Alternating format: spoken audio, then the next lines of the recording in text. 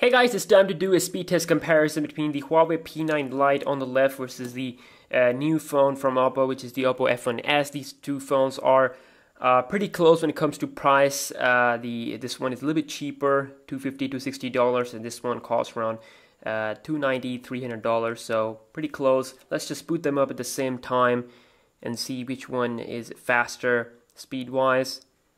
So I have the uh, 2 GB RAM model the P9 Lite here, which is uh, available in the market. You know, 3 GB RAM model, you cannot get that.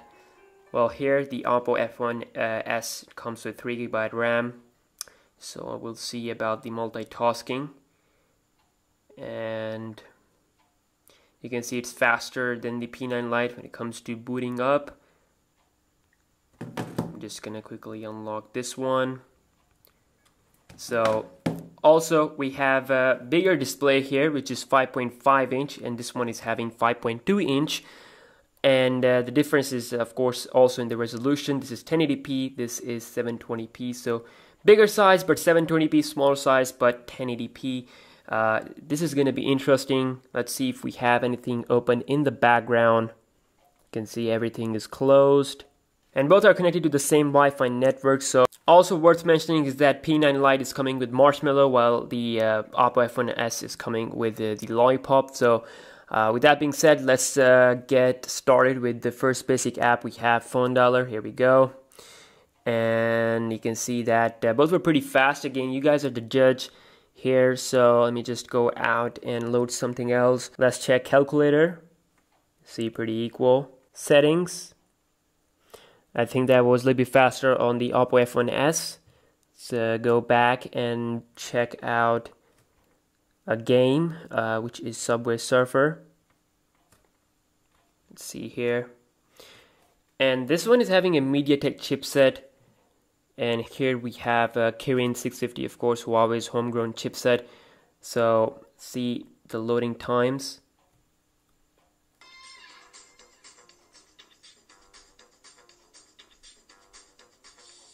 So faster on the Oppo F, uh, I mean the Huawei P9 Lite, and a little bit late on the Oppo F1s. Next we have WhatsApp, and that was uh, just a tiny bit quicker on the Oppo F1s. Uh, then we got Viber. Again, tiny faster, tiny bit faster on the P9 Lite. Let's check out IMDb.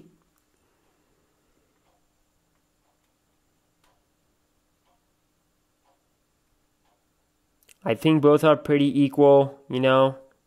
So let's just go back and check out Instagram. Definitely the uh, P9 Lite is faster. So let's uh, go back and check out the uh, camera. See which one can uh, bring that one faster. So we do have the icons on the home screen. Here we go and the Oppo F1s is uh, faster here.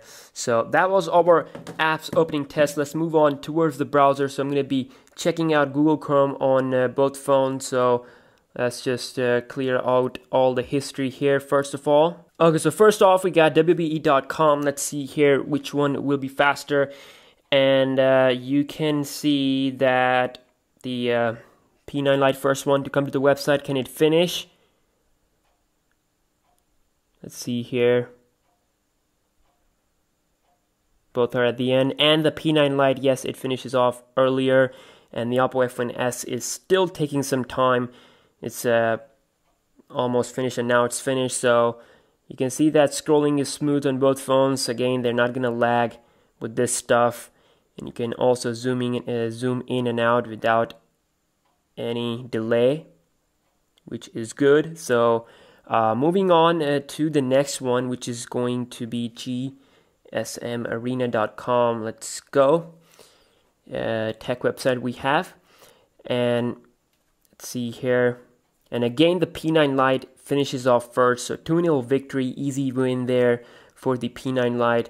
So let's go back and do the multitasking test and see if we have any advantage with the with the F1s in terms of multitasking or not. So um, let's see here.